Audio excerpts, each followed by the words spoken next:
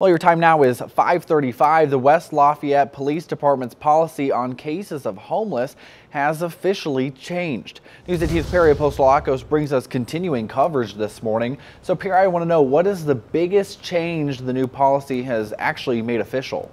Well, the main change, Cody, is definitely including the department's first ever social worker, Devin Moore, in calls when it comes to homeless individuals and when a mental health issue may arise. Moore has been in her position for nearly a year. She says these changes have been in practice for some time, but the official policy helps streamline communication within the department when they come across someone who is homeless. Moore says mental health oftentimes plays a role when dealing with a case of homelessness. She describes it as a public health issue. She says the combination of social work and policing is a reimagining of what police departments are and how they fit into our community. She says a community-wide approach to take care of people experiencing homelessness is important.